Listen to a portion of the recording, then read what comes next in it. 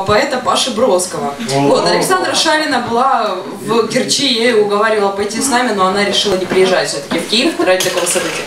Вот. И, собственно, вот э, мы пришли туда и лучше бы не приходили, в общем, скажем так.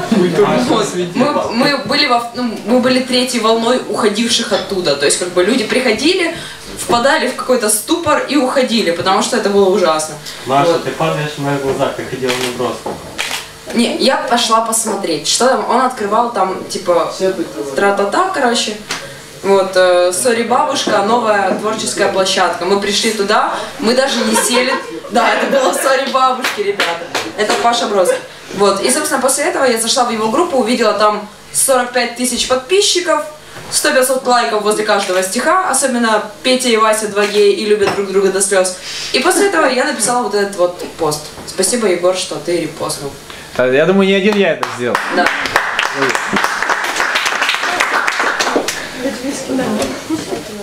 А. Еще сегодня буду читать то, что я не читала, и если будет сильно страшно, то можете меня чем-то бросать. У меня только пиво. Нет, то обман. Я видел книгу. Я согласна. Книга стоит дороже. А, я услышала, это пиво, а не книга. Нужно делаться молчание. Все, хорошо, я, я буду читать. Давай скажу тебе то, о чем молчу каждый день. Скажи, что устала, скажи, что ужасно лень вставать на работу. Замкнутый круг. Сменяя с собой друг друга, заботы и хлопоты проносятся сквозь меня.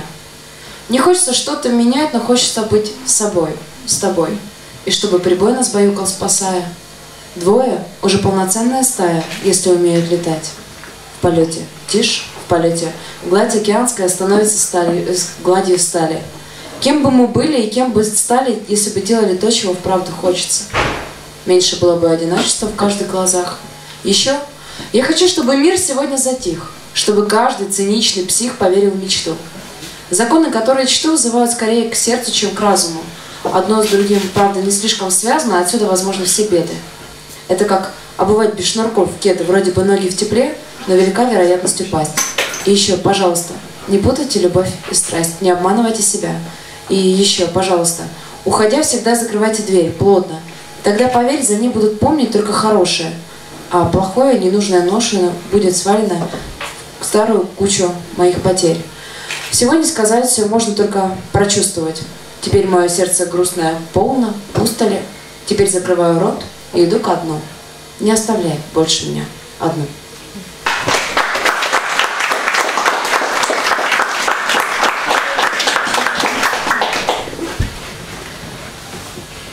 Мне уже нравится этот день. Мне нравится туман, спустившийся на город. И листья, прилипшие к асфальту, тоже не могут не радовать. Мне нравится думать, что когда-нибудь в такую погоду нам будет лень, мы не захотим выходить из дома и будем сидеть там целый день, попивая травяной чай. Или отправимся гулять по полям. Я буду бежать вперед, кричать «догоняй», а ты, ты будешь кричать вслед «не убегай от меня так далеко». И я не убегу, я навсегда останусь. Буду греть для тебя молоко с медом, когда заболеешь. Видишь, ты меня греешь взглядом одним. Мои дороги никогда не приведут меня в Рим, только к тебе. И ты будешь счастлив, будешь спрашивать, как мне удается делать сто дел одновременно, и почему у меня сбиты колени и в волосах солома. Спросишь, почему я каждую третью пятницу не ночую дома и прихожу под утро. Я скажу, что смутно все помню, сяду на подоконник, ты подойдешь, назовешь птицей и погладишь по волосам. Знаешь, когда ты сам, я за спиной стою и берегу твой сон. Ветер октябрьский поет со мной в унисон, чтобы ты лучше спал.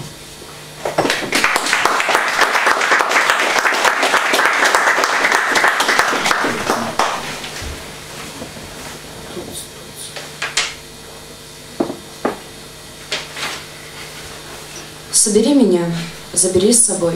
Не твоя вина, что наш долг путь. Не захочешь пить, окажусь пустой. Не захочешь спать, и я тут как тут. Этот холод твой сердце льдом сковал. И не скажешь даже, как дальше жить. Мой мирок теперь непомерно мал. Между нами, наверное, порвалась нить. На твоих глазах превращусь в грозу. Орошу дождем голод всех земель. На моих глазах превратись в слезу. и китом огромным, рвани на мель. Не ругай меня, я тобой дышу, затаит дыхание выше сил. Не ругай меня, я тебе пишу, хоть об этом ты вряд ли меня просил.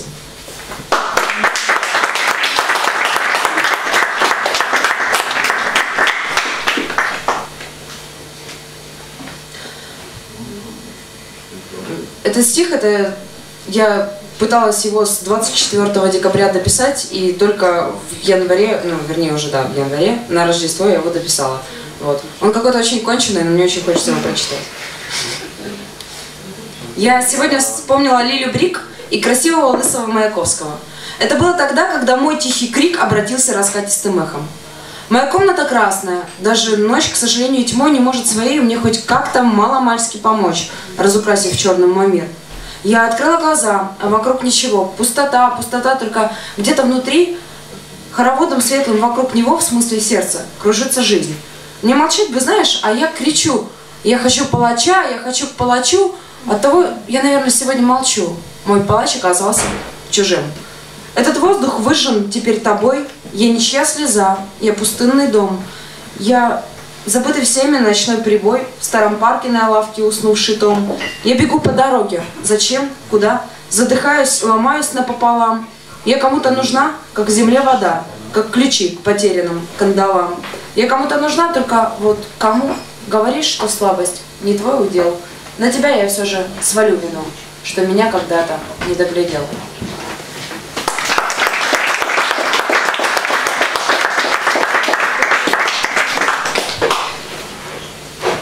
Я еще чуть-чуть и свалю. Извините. А, это не спам, это не сам, это не сон.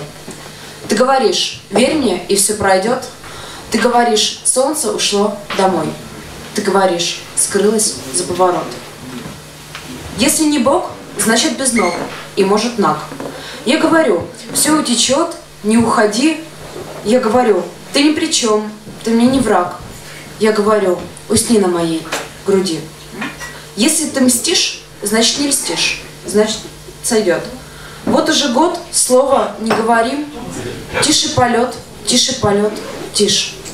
В каждом полете рождается новый нимб. Я не горда, я не беда, я не вода. Я слишком много, если не стало мы. Хочешь, зубами цепляйся за провода, чтобы в мои никогда не попаться в сны. Это мой кот, это мой кот, это мой кит, это мой мир, это мой труд, это мой май. Наше безногое солнце уже горит лампочкой над табличкой при входе в рай.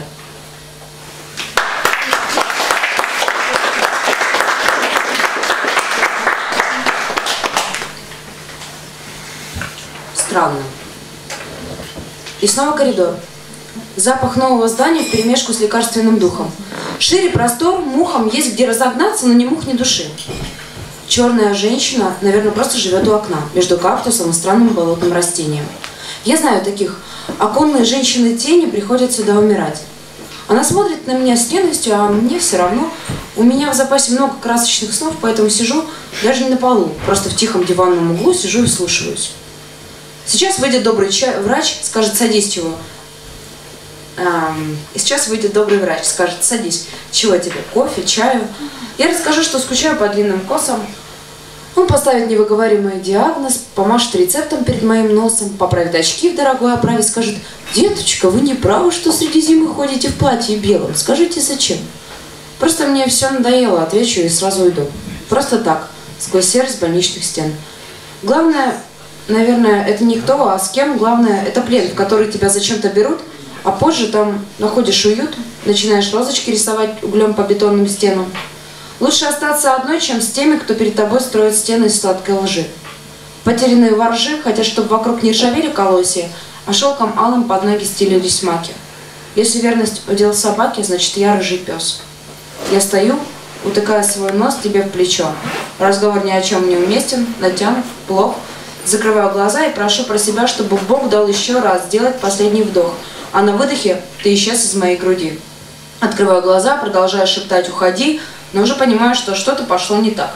Я сижу на диване, в углу на коленях рюкзак, И снова коридор, запах нового здания в перемешку с лекарственным духом. И мухам есть где разогнаться, но ни мух, ни души. Странно.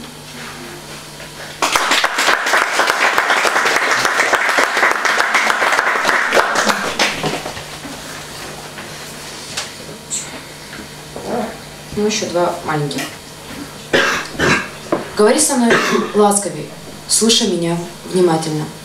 Я умею любить, я умею прощать предателей. Обнимай меня крепко, будь со мной заодно. Говори со мной, лишь говори со мной. Принимай ближе к сердцу все мои слезы тебе. Забывай мои сны, влюбляйся в ночной прибой. Отражайся небом в купленном серебре. Говори со мной, ты говори со мной. Не дави на жалость, если вдруг был неправ. Приходи ко мне, забывая дорогу домой. Не ругай за помаду, полюбившую твой рукав. И всегда, пока можешь, всегда говори со мной.